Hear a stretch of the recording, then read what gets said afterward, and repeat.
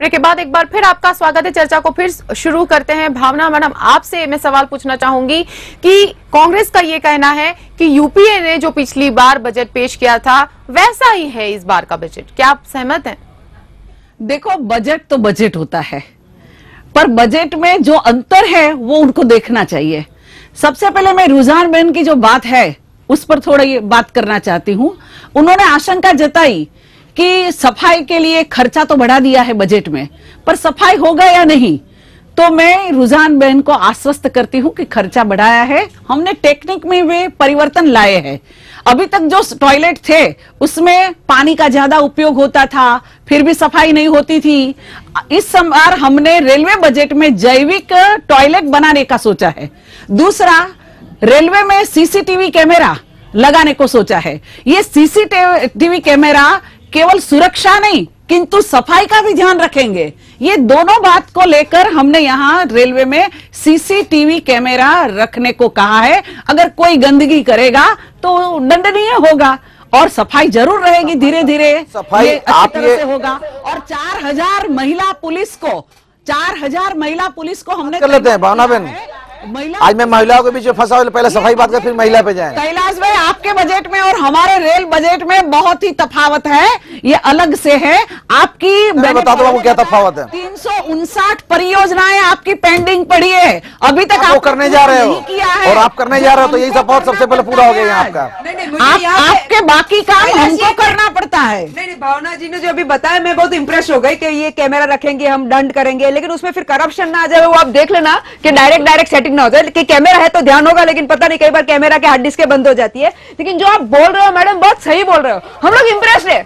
हम लोग इंप्रेस इसलिए तो मैं नहीं कहा हम लोग उससे भी इंप्रेस है। बहुत गई हो गई महँगाई की जवाब देता हूँ मैं। महँगाई बहुत हो गई महँगाई की मार अब की बार मोदी सरकार हम तो बहुत इंप्रेस है। और इसलिए तो हम एक्सपेक्ट कर रहे हैं। लेकिन जब हम एक्सपेक्ट करते हैं आप डिलीवर करो फिर बोलोगे टाइम नहीं है ना साइठ साल हुआ ना साइठ दिन हुआ ना ऐसा सब मत बोलो। अब डिलीवर करना चालू करो। क्योंकि जब तक आप डिलीवर नहीं करोगे हम लोग सिर्फ़ इंप्रेस रहेंगे और हम लोग एक्सपेक्टेशन बढ़ाते रहेंगे और हम इस तरह बातें करते रहेंगे। सो अब ये जल्दी जल्दी कैमराज लग जाने चाहिए। ये बाथरूम या जो आप बोलते हो टॉयलेट जो सेल्फ क्लींजिंग टॉयलेट्स होते हैं जिसमें वाटर कम यूज़ होता है वो हो जाना चाहिए। ऐसा कुछ करके जल्दी दिखाओ वार्ता मत करो मेरी इतनी रिक्वेस्ट है। रोजान जी आप आज यही बताया इन्होंने बातें करने में तो एक्सपर्ट है। सो सो बहुत अच्छा है इनका। सुन लीजिए रुझान जी जो कहती है मैं उनको एक सवाल पूछती हूँ कि आप अगर कोई इंडस्ट्री छोटी सी क्योंकि वो इंडस्ट्रियलिस्ट है तो अगर एक छोटी इंडस्ट्री शुरू करती है तो पहले इन्वेस्ट करना पड़ता है। फिर आपको ट्रेनिंग देना पड़ता है वर्कर्स को।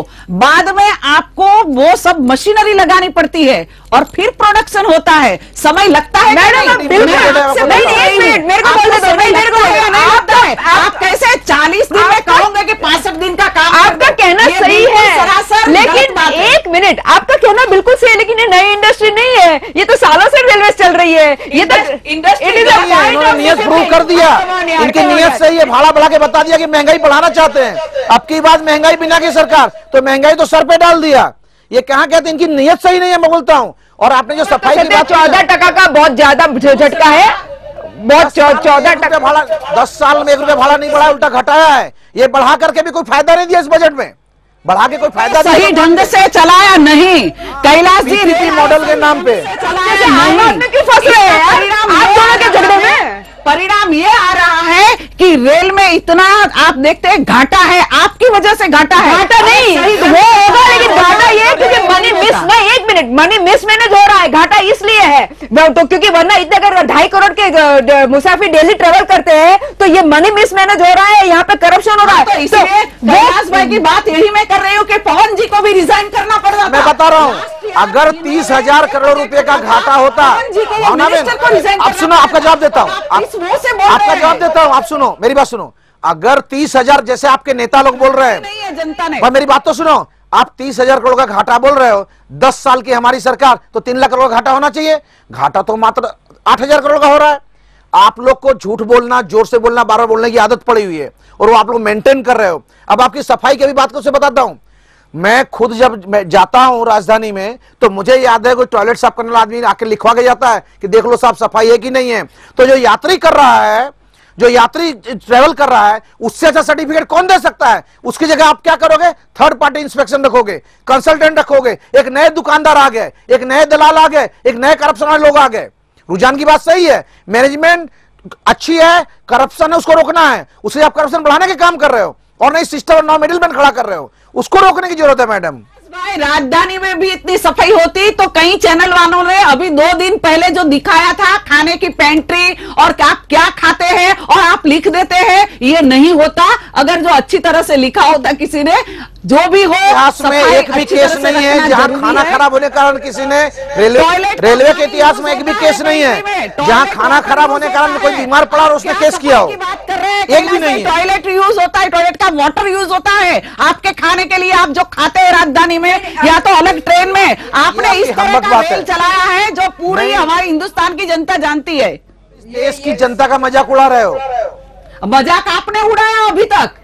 अभी तक आपने मज़ाक उड़ाया हम तो सेवा करने आए हैं। एक काम करते हैं आप सुन लीजिए जो अभी जो टीवी चैनल ने दिखाया वो तो चार दिन पहले दिखाया था और अभी चार दिन में बीजेपी की बीजेपी की सरकार है। नहीं नहीं तो इनको रुझान जी ने देखा नहीं है मैंने चार दिन पहले एक देखा है। दो एक दो साल पहले चार दिन पहले देखा है कि गंदगी जो टॉयलेट के पानी से हमारा खाना बन रहा था चार दिन पहले मैंने देखा नहीं देखा इसका मतलब ये है कि तो है। आरओ तो प्लांट स्टेशन पे क्यों? झगड़ा वही है एक मिनट एक मिनट झगड़ा वही है कि पहले भी होता था अभी भी होता था तो मेरे को नया क्या मिला? एज अ वोटर मोदी सरकार में मेरे को नया क्या मिला? जो मेरी अपेक्षा है मेरे को क्या मिला? नया हम तो फिर भी देंगे या कुछ नहीं देंगे?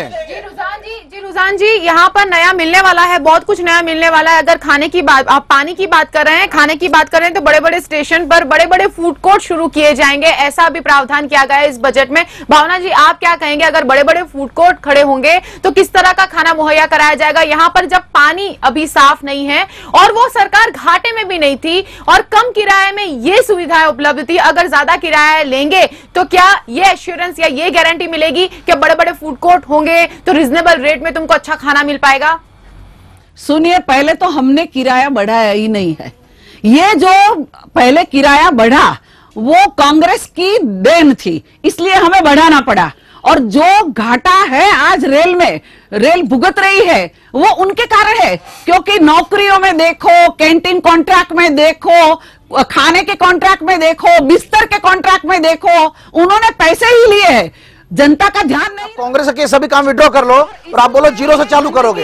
ऐसा करोगे? रहा है और हम तो आपको अच्छी सुविधा देकर इनकी करनी और कथनी में फ़र्क है और वो गुजरात मेट्रो बता रहा है। मैं बता दूँ ये जो खाने फ़ूड कोर्ट की आप चिंता मत करना क्योंकि जैसे कि स्टैंडर्ड कंपनीज़ आएगी जैसे कि मैकडोनल्ड्स लो या किंग फिशर लो या पिज्जा तो ये स्टैंडर्ड कंपनीज़ आएगी तो उनके rates all over India standard रहते हैं इसलिए उसमें चिंता नहीं है। बाकी पानी की तो कोई भी गवर्नमेंट है पानी की तो अपने को बारह रुपए की वो बॉटल खरीदनी पड़ती है इसलिए उसमें आई I मीन mean, कोई भी गवर्नमेंट आएगी जो आप विकास के नाम पे बोलो कि डेवलपमेंट के नाम पे बोलो पीपल हैव टू पे तो मेरा तो हमेशा यही कहना है कि भाई अगर मेरे को व्हाट आई कॉल डेवलपमेंट कि मेरा प्राइस ना बढ़े लेकिन मुझे अच्छी सुविधाएँ मिले मुझे अच्छी फैसिलिटी मिले वो मेरा हमेशा मांग है लेकिन आई होप ये government let us hope let us be positive about it कि लेट अस होप कि ये government in the next next year one year शायद 365 डे अभी नौ महीने के बाद वापस हम बैठेंगे नेक्स्ट रेलवे बजट के लिए। तब अपने भावना जी को भी बुलाएँगे कैलाश भाई को भी बुलाएँगे और तब हम देखेंगे कि आज जो हमने डिस्कस किया है वो उस वक्त कितने इंप्लीमेंट हुआ क्योंकि I am think nine month is long enough time for implementation और सफ़ाई की अगर हम काम अ, बात करें तो सफ़ाई के जो कर्मचारी हैं उनका अगर सफ़ाई के दौरान मौत हो जाती है ट्रेन हादसे में और ऐसा होता आया है और ऐसा होता है तो उनके लिए क्या प्रावधान है भावना जी? नहीं नहीं हमने यहाँ पर वो अ, सब कर्मचारियों के लिए भी फंड रखा हुआ है उनके पेंशन के लिए भी फंड अच्छा सा रखा हुआ है और काम के समय में जो मृत्यु होती है तो उनको भी हम मुआवजा देते हैं। ये कोई नई बात नहीं है वो पहले सरकार हमारी थी हमने रखा है आप कहाँ रखा है? आपने रखा है। हमने रखा हमारी सरकार थी। आप क्यों जश ले रहे हो? अभी तो आया है दो दिन में भाड़ा बढ़ाने का कोई काम नहीं किया आपने। आपका एक तो काम अच्छा बताओ इकतालीस दिन परंपरा तो में रहेगी इकतालीस दिन में चौदह परसेंट। ये तो अच्छा हुआ भगवान पंद्रह इक्यावन दिन नहीं और पंद्रह की- परसेंट बढ़ता लगाने की ज़रूरत दो नहीं है। बीस दिन होते तो बीस परसेंट बढ़ा दिया होता आपने। नहीं ऐसा कैसा कोशिश हमारा होगा कि वो सफ़ाई कर्मचारी की मृत्यु ना हो। और इसलिए हमने एक अच्छी सी सिम्युलेशन सिस्टम भी किया है। ये आपको रेल बजट में नई बात है। सिमुलेशन सिस्टम ये है कि पटरी पर कुछ भी गलत है आपका तो पता चल जाएगा अकस्मात की जो संख्या है वो बहुत ही कम हो जाएगी। देखो रेल अकस्मात बहुत होते हैं और जनता का विश्वास रेल पर से उठ गया है तो इसलिए हम सबसे पहले सुरक्षा और सलामती के लिए भी ये काम कर रहे हैं। अभी तक ये कांग्रेस कर सकती थी क्यों नहीं किया? ये एक सवाल है कांग्रेस के लिए। कैलाश भाई जितने लोग मरते हैं ना रेल एक्सीडेंट में जितने लोग मरते हैं उससे 200 टाइम्स ज़्यादा लोग रोड एक्सीडेंट में मरते हैं। तो रोड से लोगों का विश्वास उठ गया।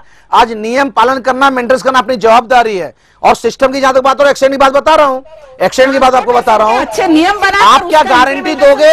आप क्या गारंटी दोगे? अगले पाँच साल तक एक भी एक्सीडेंट नहीं होगा इसे गारंटी दोगे इस देश को इस माध्यम से इस इलेक्ट्रॉनिक माध्यम से? कि एक, एक भी एक्सीडेंट नहीं होगा। कैलाश भाई कैलाश भाई हम अकस्मात को रोकने की कोशिश करते हैं। जो हमने किया है उससे ज़रूर अकस्मात की संख्या बहुत ही कम हो जाएगी। इस हो गया और इससे बड़ा अकस्मात क्या चाहिए इस देश को? तो भाड़ा बढ़ा के कर दिया आपने इससे बड़ा अकस्मात और क्या चाहिए इस देश को समय मर्यादा की वजह से हमें इस प्रोग्राम को अभी यहाँ पर खत्म करना पड़ेगा। कैलाश जी, आपका बहुत बहुत शुक्रिया हमारे साथ जुड़ने के लिए। रुझान जी, आपका भी बहुत बहुत शुक्रिया हमारे साथ जुड़ने के लिए। और भावना जी, आपका भी बहुत बहुत शुक्रिया हमारे साथ जुड़ने के लिए। आखिरकार यहाँ पर सवाल कई सारे खड़े होते हैं। हर साल आम आदमी को यही चिंता रहती है कि जनरल बजट उसके लिए कैसा होगा, रेलवे बजट उसके लिए कैसा होगा, क्योंकि भारत एक इतना बड़ा देश है, इतना विशाल देश है, और जिसका जो ट्रैक है वो बहुत ही लंबा है, और पूरी दुनिया में इसकी सराहना की जाती है। यहाँ पर मोदी सरकार ने जो बजट पेश किया है। उसमें कहा गया है कि लोगों की जरूरतों पर खास ध्यान दिया गया है। जी हाँ बिल्कुल लोगों की ज़रूरत है कि उन्हें जल्दी पहुँचना है, उन्हें अच्छे से पहुँचना है, उन्हें फुल सिक्योरिटी के साथ अपने डेस्टिनेशन पर, अपनी मंजिल पर पहुँचना है। लेकिन साथ साथ ये भी लोगों की ज़रूरत है कि उनकी जेब पर ज़्यादा बोझ ना पड़े।